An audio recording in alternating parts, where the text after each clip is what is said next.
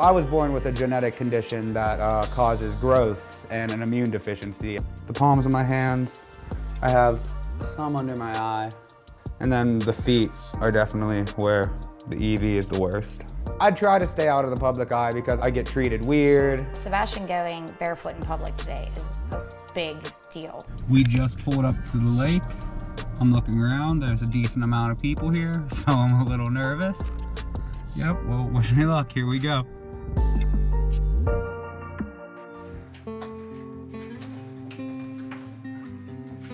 My name is Sebastian Quinn. I'm from the Pittsburgh area. I am 23 years old. I was born with epidermodysplasia verruciformis. I'm pretty sure that's how you say it. Of course, I'm not a doctor, so it's a genetic condition that uh, causes growths and an immune deficiency. Growing up with this condition became very stressful. And it got to the point where I could no longer wear tennis shoes. I could no longer go swimming for fear of the other kids being like, oh, what's wrong with your feet? Look at you, you're a monster and stuff like that. And it's stuff I still struggle with. The EV on my body, obviously, spreads across my hands, under my fingernails, if you can see that. Um, the palms of my hands, some under my eye, uh, the one on my forehead right there. And then the feet are definitely where the EV is the worst. This condition's affected my life in a lot of different ways, from um, social anxieties that I've never had before. I won't go to certain restaurants, I won't go to certain gas stations. I try to stay out of the public eye because I don't like interacting with cashiers or any of the sort because of the looks I get, simply because of my hands. I get treated weird, they hand me money differently than I see them hand other people money. When the EV first started to appear, um, obviously we did not know what it was and we started seeing doctors hoping it was going to get better. He's had a lot of times when he's been sad and depressed and we just try to keep going and it breaks my heart because I would do anything in the world to fix it. So we just keep searching for answers and people that can help us.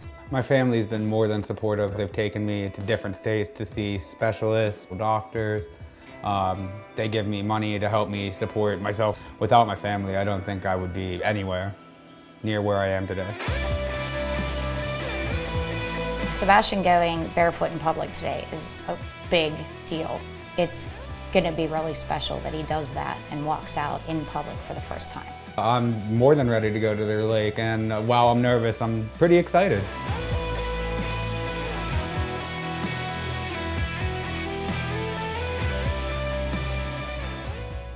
We just pulled up to the lake. I'm looking around, there's a decent amount of people here, so I'm a little nervous.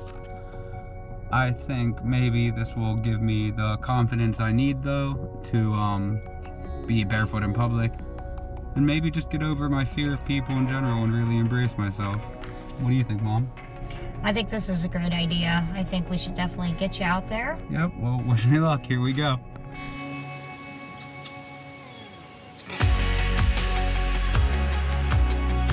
I'm out here for the first time in public, barefoot, no socks, no Crocs, no nothing. And um, it feels amazing. Speechless would be a good word for how I'm feeling. I don't know, it's nerve wracking and exciting all at the same time. I feel the grass under my feet, the breeze on my feet. It's just absolutely amazing. I forgot how good it felt and it feels absolutely surreal to be out in public, but I feel like I could do it more often, honestly, because it's just loving myself and I have to accept who I am before anyone else can. My future hopes are just that I can get better. I just want to live a normal, productive future.